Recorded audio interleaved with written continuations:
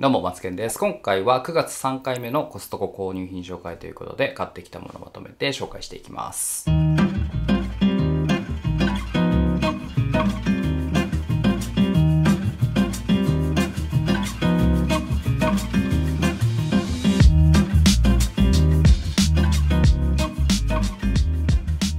各商品の詳細は概要欄の方にまとめてますので価格だったりねその他の情報いろいろとチェックしたいなって方はぜひ概要欄の方を見ていってください。このチャンネルではコストコで買ったもの毎週まとめて紹介してますのでチャンネル登録まだの方はぜひ登録して、えー見ていただけると嬉しいです。それではどうぞ。購入品1点目はこちら。カークランドシグネチャーのバスティッシュ。1898円で購入しました。先週の金土日3日間限定でクーポンが出てたこのバスティッシュですね。トイレットペーパーで。以前は海外から船便とかで日本に入ってきてたんですけど数年前から日本国内の工場でこれが製造されるようになってでそこからま在庫がね欠品することなく安定して買えるようになってます。パッケージ開けるとね中はこんな感じで6ロールずつまとめてさらにね小分けされてます。合計で30ロール分入ってまして1ロールあたり62円ぐらいですね。価格がめちゃくちゃ安いよっていう商品ではなくて質が良くてね吹き心地なんかが良くてこれを使うっていうパターンですね。これはねちょうど先月ストックがなくなったタイミングで買ってたものなんですけど今回はあもうストック分で2つですね確保できました。でこれね今回のクーポンになったタイミングでどこの店舗もめちゃくちゃ混雑してたみたいなんですよね。僕は久山倉庫店でいつも買い物してるんですけど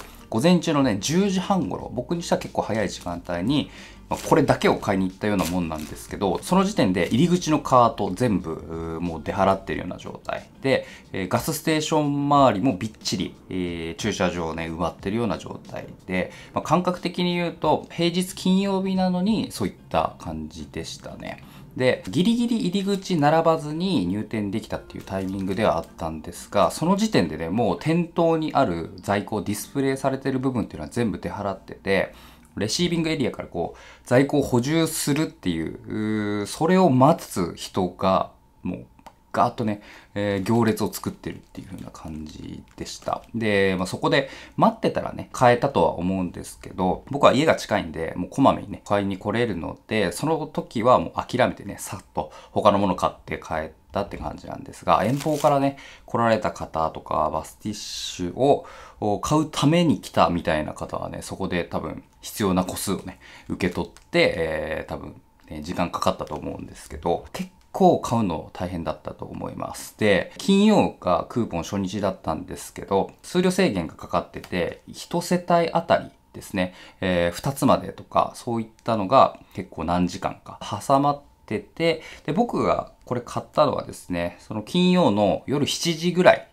ですね、ちょっといろいろ用事を済ませて、隙間時間でまたピュッと行ったんですけど、その時には数量制限が撤廃されてて、必要な個数分一応買えるようになってました。売り場の方もね、店頭の在庫、壁一面もこのバスティッシュが積んであるような状態で、普通に手に取ってね、えー買えたという感じです。なので、金曜に買い物行った方もね、時間帯によっては数量制限で、2つまで、マックス2つまでしか買えないみたいな。その次の日の土曜日、日曜日ですね、もう数量制限はあー人世帯あたり1個とか厳しい時はそれぐらい数を絞っての販売だったっぽいですね。それはもう店舗によって対応が違ったと思うんですけどもうとにかく終日一日中このバスティッシュを買いに来るお客さんがあ多かったと聞いてます。今回のクーポンで買うのがめちゃくちゃ難しかった理由としては週末3日間限定で安くなってたってことですね、えーで特に土日はもう混雑するのが確定するんでやっぱ平日行っとこうっていう考えになると思うんですよね。その結果金曜日の午前中からもうガッとね、えー押し寄せるという感じになったと思います。このバスティッシュカート1台でどんくらい詰めるんかな？下に2個入れて上にあとうまく詰めばあ4個とか5個とか多分詰めるはずなんでね。カート1台で78個これ積んでるっていう人もね結構いたんですよねそのペースでお客さんがね、え、商品確保してったら、後から来たお客さんっていうのは当然少なくなりますよね。在庫自体は、あの、バックヤードにいっぱいあったけど、そこから売り場に陳列するっていうのが間に合ってなくて、それで、ま、数量制限がね、しばらくかかってたという感じで、結局その日の夜6時半とか、まあ、そういった時間帯の時には、その混雑をね、さすがに収まってまして、このバスティッシュ自体はね、定番商品なんで、また半年後とかですかね、わかりませんけど、クーポン出ると思うんですが、またその時に3日間限定でしかクーポン出なかったら、同じことが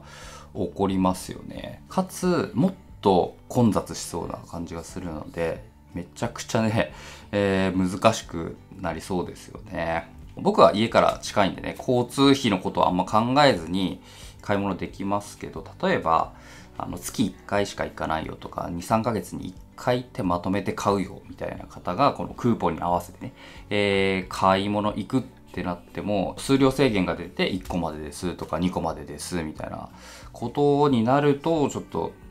えーってなりますしね。このバスティッシュは毎年どこかしらのタイミングでクーポン出てますけど、ぱ3日間限定でしか安くならないとかなりハードルの高い商品なのかなと思いました。もうめちゃくちゃ買い物しづらかったです。こういった商品はみんなが買えるように1週間長い期間でなんか安くしてほしいなっていう感じしますけれども。今回のクーポンで、えー、買えた方はお疲れ様でした。2個買ったのはいいけどね。めっちゃ邪魔。重いし。購入品2点目はこちら、雪国アグリの4種のフルーツこんにゃくゼリー。878円で購入しました。こちら、いつも買ってる個包装のこんにゃくゼリーですね。220円オフになってたので買っておきました。アップル、マンゴー、グレープ、ピーチの4種類のフルーツのこんにゃくゼリーが入ってます。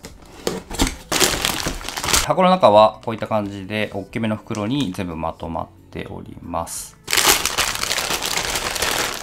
こういった感じで各フレーバー 20g のサイズになりますが、それぞれ20個ずつですね、えー、これが入ってます。前回の購入品まとめ動画では同じメーカーのシャーベットのタイプを買ってるんですけど、今回はゼリーですね。これはこれで必要なんですよね。特に子供がまだ小さいんでね、弁当を毎日持たせてますが、これを冷凍させておくと、保冷剤代わりにね、今の時期なんかはまだ使えますし、溶けた後もゼリーとしてこう食べれるんですよね。これのシャーベットの方は、溶けるとシャバシャバな液体になっちゃうので、そういった保冷剤っぽい使い方ができないんでね、似たような商品買ってますけど、このゼリーはゼリーで役割があるという感じで、まあ、常にストック切らさないようにね、えー、買ってるものですね。シャーベットもそうですけど、このこんにゃくゼリーも今年はよくね、クーポン出てる印象でして、クーポンのタイミングで買えれば、1つあたり10円ぐらいになるので、まあ、ものすごいコスパもいいです。購入品3点目はこちら、九州の卵ひよざえもん。445円で購入しました。いつも購入してる卵ですね。10個入り2パックのセットになったものなんですけど、価格がね、最近ちょっと上がりましたね。445円で販売されてます。最近はね、400円切るぐらいの価格で出てたんですけど、なんかいきなりグッと上がった気がしますね。外箱の中はこんな感じです。結構ね、この卵割れてることが多いんですけど、今回購入分は大丈夫そう。こういった基本食材の値段が上がると、と痛いですけど、まあ大体コストコで買うのが一番安いかなっていう感じなんでね、卵だけ買いに他のスーパー行くのもめんどくさいんで、えー、まとめて買っちゃってます。購入品4点目はこちら、ドーバーのパストリーゼ77。1998円で購入しました。アルコール除菌スプレーでおなじみのこのパストリーゼですね。コストコでも買えるっていう話は聞いたことがあったんですが、パッケージね、初めて見ました。スプレーボトル 500ml と付け替え用のボトル 500ml がプラスで2本ついてるという合計で1.5リットル分のパストリーゼという感じですかね。パストリーゼの特徴としてはこういった野菜とかね、食品に直接使えるよっていう、これは最大の特徴かなと思います。こういった、なんかまな板とか調理器具だったり、キッチン周りのね、掃除とか、こういった部分はね、他の他社製のアルコールスプレーの使い方だと思うんですけどこれ食品に使うってね皆さんこれ使ってますかね使って効果というかこれをすることでどういった効果があるのかっていうのが、まあ、ちょっとわかんないんですけどねもし使ってる方でこういう違いがあるよみたいなことがあれば教えていただきたいなと思います。用途や使用方法等はですね、えー、こちらパッケージ下部の方に書いてありますけど、なんか文字が詰まっててめちゃくちゃ読みにくいですね。同じ行何回も読んじゃうタイプのデザインになってます。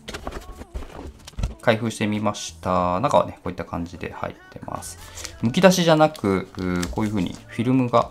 貼られてるので、長期間保存する場合もね、えー、なんか気にならないですよね。清潔な状態で、えー、ずっと出番まで、えー、ストックすることができそうです。まあ、至って普通のスプレーボトルといった感じなんですけど、ここ、こうやって、えー、ギュッと握ることができるので、まあ、ちょっとね、最初は量多くて、重さはある程度ありますけど、しっかりこう手で持てるので、使いやすいっちゃ使いやすいのかな。ノズルの部分を解除してこんな感じ。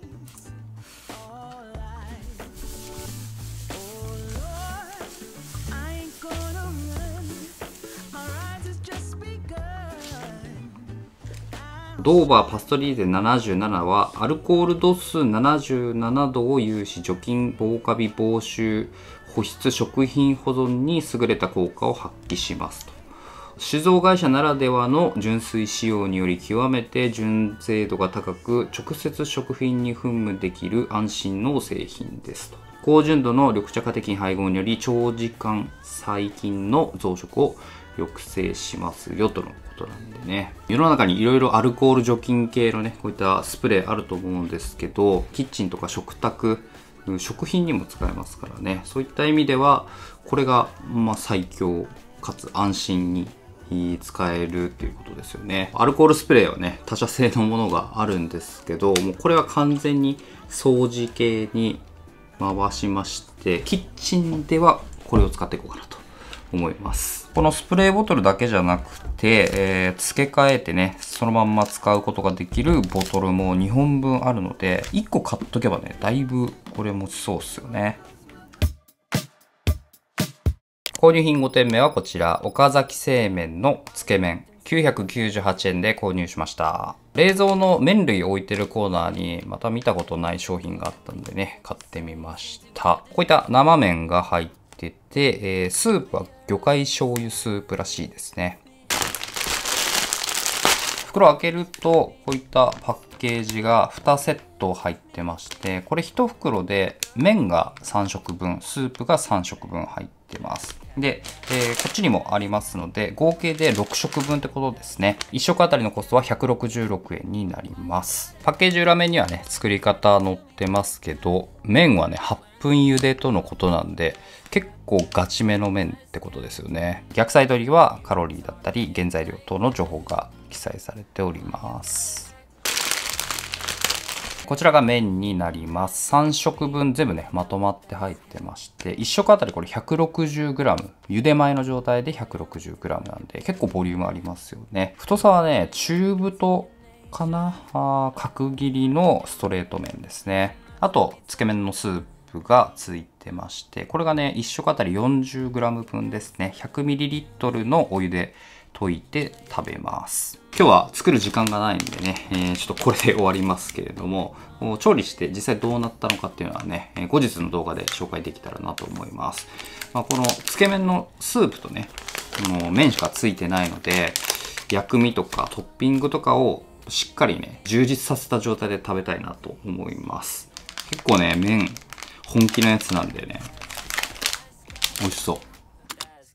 購入品6点目はこちら、炙り北海タコ。1911円で購入しました。最近ね、インスタとかでちょっと見かけた商品ですね。ちょうどパトロールした時に売り場の方に並んでましたんで買ってみました。鮮度抜群の国産のタコの足ですね。これを一本一本炙ってあるのかな。その後、こういう風に真空パック状態になってるんですけどこの吸盤がね、えー、均等な整列した状態になってるのでこれメスですかね。足の先がくるっと丸まってますけどこれ全部伸ばすと大体50センチぐらいになります。このね、えー、ここの幅だけで33センチぐらいありましたので結構長いですね。このタコの足は 100g あたり518円で今回購入は 369g になります。価格は1911円で一番ね、えー、小さいものを選んできたんですけどものによってはね2100円とかあ2200円までは行ってなかったですけどもっとごっついものもありました。基本的にはもう生食で食べることになるかと思います。このタコの足は個別でレビュー動画をね、えー、出す予定ですのでもし興味ある方はねぜひそちらの動画お待ちいただけたらなと思います。どうやって食べようかなって考えたんですけどこの部分丸かじりしたいなっていうのは思ってますがとはいえね、えー、家族にも食べさせたいので普通に切って食べるのかな。分厚く切ってしまうと多分顎が疲れるんでなるべく薄く切ってこうご飯にね、えー、並べてっていう感じで、うん、タコ丼作ってみようかなと思います。このタコの足は去年コストコの方で販売されてたらしいんでねもう食べたことあるよって方いると思うんですけどもしね美味しい食べ方おすすめの食べ方ありましたら是非コメントの方で教えてください購入品7点目はこちら、サンドイッチコンボ。1359円で購入しました。デリカの新商品ですね。オーソドックスな卵サラダとチキンサラダのサンドイッチになります。レビュー動画の方では紹介できなかったんですが、このサンドイッチね、焼いたらどうなるのかっていうのをね、撮影した後に試してみたんですけど、断然焼いて食べた方が美味しいです。っていうのもね、結構パンがパサッと感があるんですよね。まあ、いい表現かわかんないんですけど、普通の食パンなんでコンビニとかで買えるサンドイッチに比べるとこのパンのしっとり感っていうのは全然ないんでま特にこの冷蔵保存してる期間中に冷蔵庫内でやっぱ乾燥しますんでパンのパサパサ感っていうのは加速すると思うんですよねそれをこの加熱調理なしに食べると結構食べにくいところがありますんでおすすめの食べ方としてはこんな感じでグリルパンでこうパンの部分だけでもね、焼き目をつけるっていうことですね。えー、ちょっとホットサンドメーカーがどっか行っちゃったんで、今回はあこのグリルパンと、あとはこのプレスですね。これがあるときっちり焼き目つけれるので、もしね、えー、興味あればこれ買ってみてください。めっちゃ便利です。あんまり押さえつけすぎると、この具材が飛び出ちゃうんでね、それだけご注意ください。お危ない危ない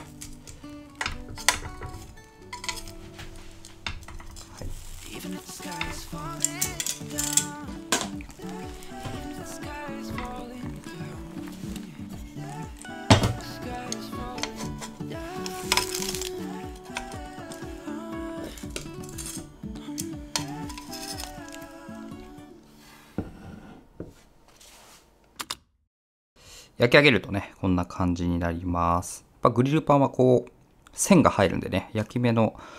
線が入る分、より一層美味しい操作が増しますね。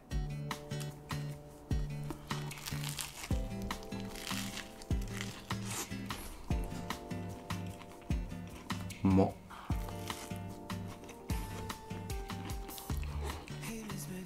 うん片面23分ずつ焼くだけなんですけどね。このひと手間でパンのパサパサ感っていうのが全く気にならなくなってしかも美味しく食べれます。温まったレタスもねこれはこれで美味しいですしあとなんやろななんか薄切りのハムとかあると手っ取り早くこう味変というかアレンジできますのでそうしたら卵とチキンのサンドイッチがもともとあって、えっと、ハムをそれぞれ4つずつ8枚のハムを入れ込んであげたら全部で4パターンの食べ方ができるってことになるんでね。それで、えー、あとこんな感じで全部焼いてしまえばめちゃくちゃ美味しいサンドイッチになると思います。そのままこれを食べるんだったら当日製造分の当日のうちに食べきっとかないと結構パンの質感はパサッとするのはねどんどん加速していくと思いますので。ハイローラーなんかはね中のこの野菜の水分の影響でトルティーヤ生地とか全体がね、グズグズってなるっていう、そういった感じあるんですけど、これはもうレタスしか入ってないんで、ぜひ温めて食べてください。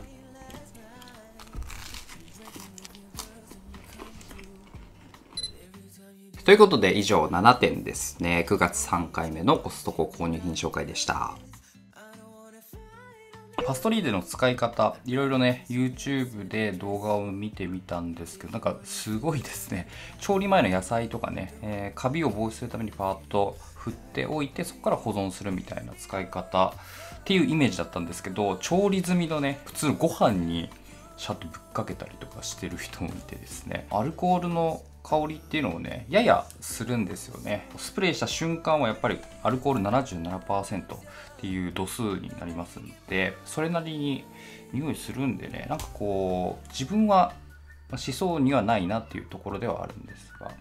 が除菌マニアの方はそういう風にして使ってるみたいですね。基本的にはキッチン周りで使うだろうなってことを思ってたんですけどね。いろいろな方の使ってるのを見ると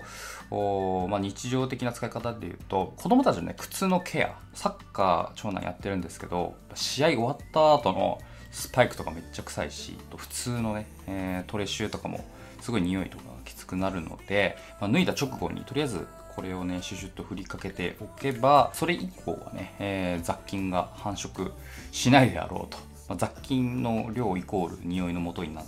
ところありますんで、